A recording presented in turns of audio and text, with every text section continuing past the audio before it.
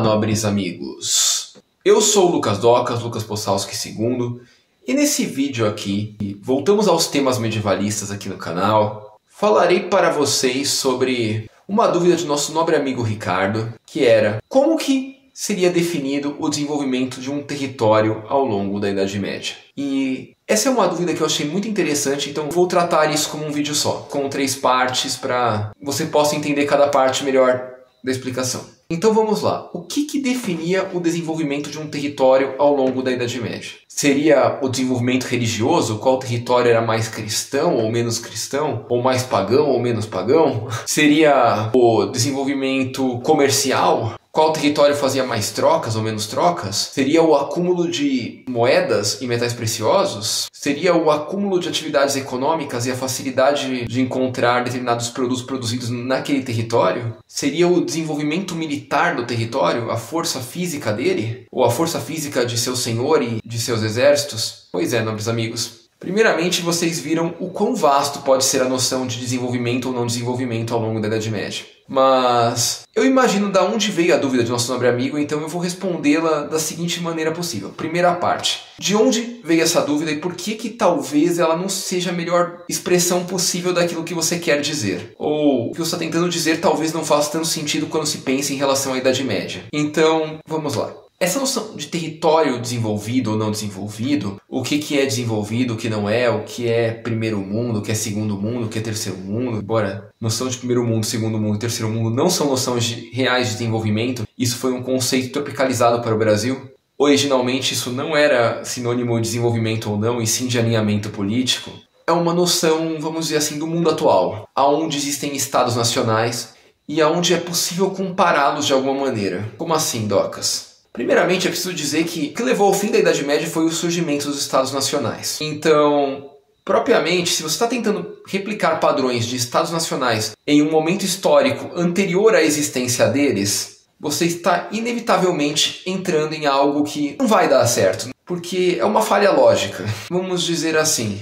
As galinhas botam ovos e as galinhas desenvolvem penas e as galinhas algumas características. Então, se a gente for pegar uma espécie que veio antes da galinha, vai ter essas características também, ou a gente pode medir as características da galinha na espécie que veio antes dela. Entende o que eu quero dizer? E essa noção de erro acontece por causa do seguinte: no mundo de hoje, nós somos ensinados a ver o mundo como estados nacionais, a ver o mundo como unidades territoriais formadas por governos, por poderes centralizados e basicamente o mundo é composto por isso. Mas na Idade Média, a coisa não era assim.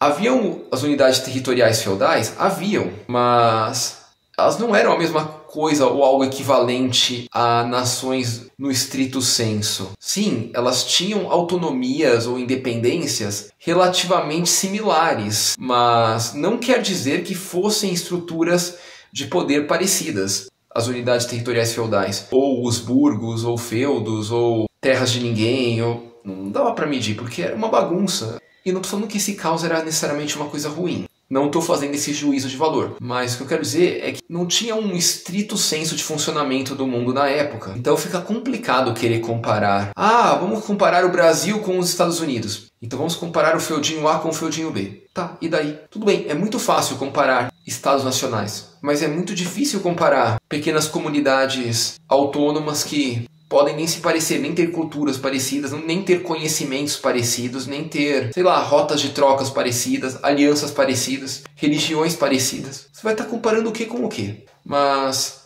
eu entendo isso. E pior, eu entendo que certos canais aí que se atribuem como medievalistas, e olha que eu não estou falando dos grandes palhaços aí não da internet, estou falando do, gente que é considerada séria por alguns aí. Não estou falando de palhaço não. Esses caras, infelizmente, ajudam com essa confusão, porque ficam fazendo comparações bobas com países, com desenvolvimento, com ideologias políticas ou estilos de vida. E, infelizmente, com essas comparações, eles acabam mais confundindo você do que te ajudando. Novamente, não vou citar nomes aqui porque eu não quero briga. Eu quero apenas ajudar a informar vocês.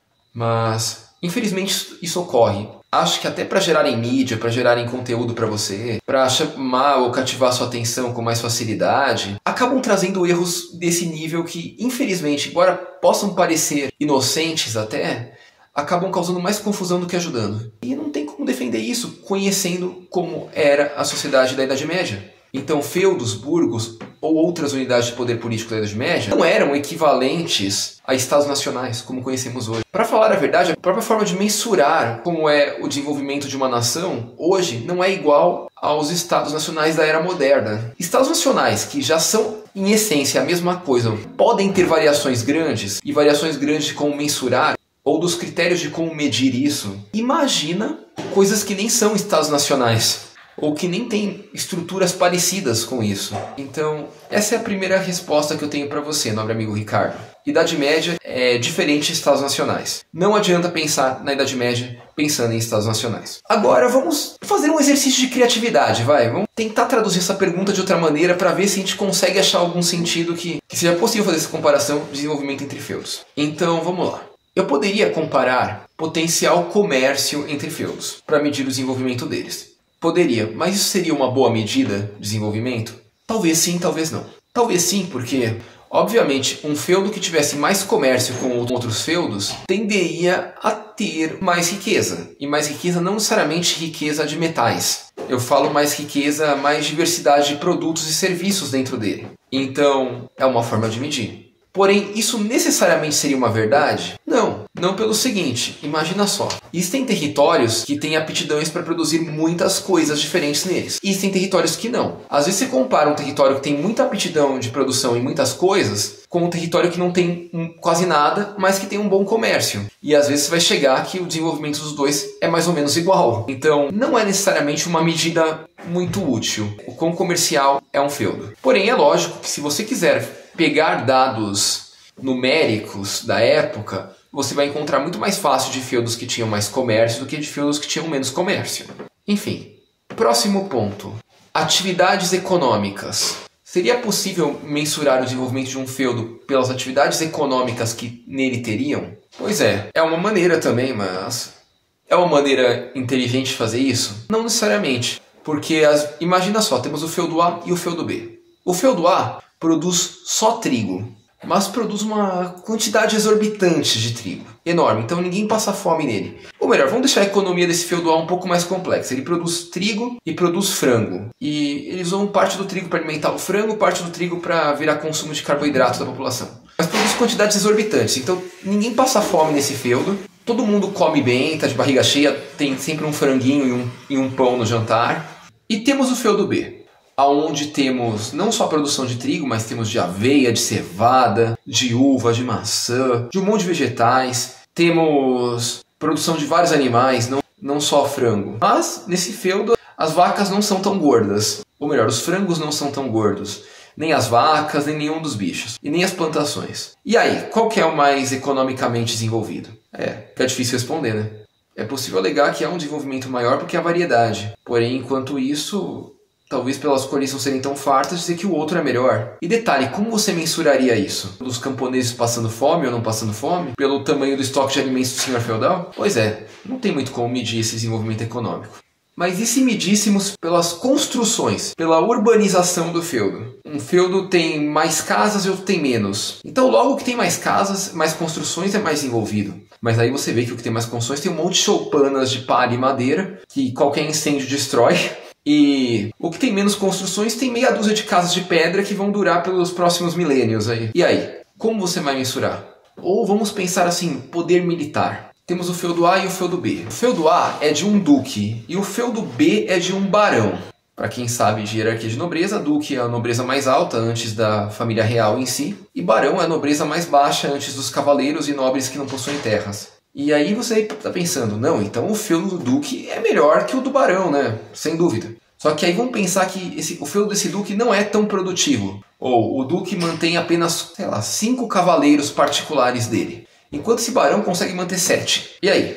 Ah, mas o Duque consegue convocar a aliança militar? Sim, mas isso é sinônimo de desenvolvimento territorial? Ou isso é só sinônimo da posição de nobreza dele? Porque afinal o Barão ali é muito mais baixo na, hierarquia de nobreza, tem mais cavaleiros. Cavaleiros particulares, cavaleiros que ficam no próprio feudo. Não estou falando de nobreza vassal. Então, o desenvolvimento podemos dizer que é mais religioso. Novamente, o que, que impediria de uma sociedade não cristã ser mais desenvolvida que uma sociedade cristã. Isso aconteceu ao longo de anos da Idade Média, principalmente do começo dela. Sociedades pagãs sendo mais desenvolvidas que cristãs. Em outros momentos, sociedades cristãs mais desenvolvidas que pagãs. Qual que é o critério? Essa sociedade mais religiosa, se é menos religiosa? Essa é mais apegada a Roma? Essa é mais, sei lá, cátaro, ortodoxo ou alguma coisa assim? E aí que chegamos à seguinte questão. Os parâmetros que temos para comparar feudos entre si podem ser muito legais, pode ser um entretenimento bacana até. Mas na prática, o que isso quer dizer? Quer dizer que determinado território é melhor que outro determinado território em um determinado parâmetro específico. Quer dizer apenas isso. Fora isso, o mesmo território que é inferior em um parâmetro pode ser muito superior em muitos outros. E não tem como indexar todos eles num índice só. Até porque, imagina uma sociedade onde a maioria das pessoas era analfabeta, não sabia ler, não sabia fazer contas direito. Onde as pessoas que sabiam fazer contas muitas vezes não tinham interesse real em fazer isso. Até porque era um gasto de energia que provavelmente para eles não ia levar a nada. Então eles nem fariam isso. E até porque, qual que é a relevância disso? Vamos pensar assim. Supondo que eles conseguissem fazer o índice de desenvolvimento feudal. Algum maluco lá da Idade Média ou algum maluco com uma máquina do tempo voltasse lá com o índice de desenvolvimento feudal. Vamos pensar assim, uma zoeira sem tamanho, vai. O desenvolvimento de um feudo poderia variar de uma geração para outra, porque às vezes temos uma geração que tem uma safra boa, pegou poucas doenças, criou uma sociedade produtiva naquele território. E aí, 50 anos depois, vem uma praga, vem uma guerra, vem alguma coisa e destrói tudo. E aí, mais 50 anos depois, volta como era. E sei lá, ou vai para uma direção completamente diferente. Fica praticamente impossível medir desenvolvimento em relação ao feudalismo. Ai, mas e o acúmulo de ouro? O acúmulo de ouro foi um padrão de desenvolvimento durante a era mercantil, durante a era moderna. Reinos como a Espanha eram considerados mais desenvolvidos do que reinos como a Inglaterra ou do que reinos como a Prússia, posteriormente formou a Alemanha. Nos dias de hoje, alguém acredita que realmente a Espanha é mais desenvolvida do que a Inglaterra ou que a Alemanha? Tudo bem, eu acho que também ficar comparando esses gráficos de desenvolvimento é uma ideia um tanto quanto idiota, uma vez que às vezes isso não reflete muito bem a realidade em alguns aspectos. E eu concordo com você se você falar isso. Até hoje esse negócio de desenvolvimento é uma furada sem tamanho. Quem diria para medir uma época longínqua antiga que nem temos todas as informações possíveis sobre ela. Então, essa é a segunda parte, questão de desenvolvimento aí, exercício lógico. E quanto à terceira parte aqui, nobres amigos, por que, que essa informação seria relevante? Imagina só, nós estaríamos comparando um monte de sociedades tecnicamente homogêneas, em função de desenvolvimento tecnológico, porque não haveriam grandes variações tecnológicas entre elas, porque ah, talvez uma tivesse maior variação de construção, enquanto o outro tivesse uma maior de forja. E daí, na prática, elas seriam quase equivalentes entre elas em nível tecnológico. Se houvesse uma tão superior às demais, por que, que essa tão superior às demais não tomou as outras? Não dominou elas, simplesmente virou uma civilização só? Por causa de descentralização, desinteresse? Talvez um pouco, é. Mas ao mesmo tempo também, porque não era tão diferente assim, né? Então não faz muito sentido. Ah, mas a gente pode comparar que a armadura dentre os povos latinos era muito diferente das armaduras entre os povos nórdicos. Sim, mas você está comparando um critério específico, armadura. Isso quer dizer que os latinos eram melhores em tudo que os nórdicos? Não necessariamente. Isso quer dizer que as armaduras dos latinos seriam melhores nesse caso.